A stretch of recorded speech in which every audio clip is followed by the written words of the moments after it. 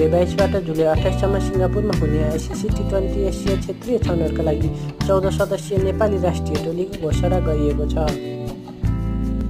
यस प्रतियोगिताका लागि छनौट भएका खेलाडीको सूची यस प्रकारको रहेको छ। Captain Paras Khadka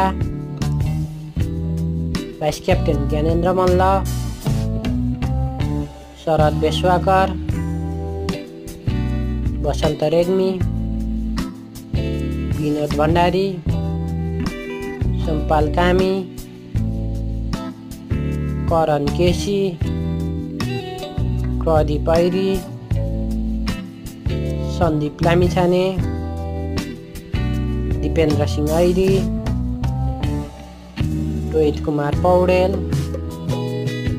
Lalit Narayan Rajbanshi Pawan Sarraf Avinash Bohara यस्तै यस्तै नेपाली क्रिकेट सम्बन्धी नयाँ भिडियोका लागि च्यानल सब्सक्राइब गरिदिनुहोला। धन्यवाद।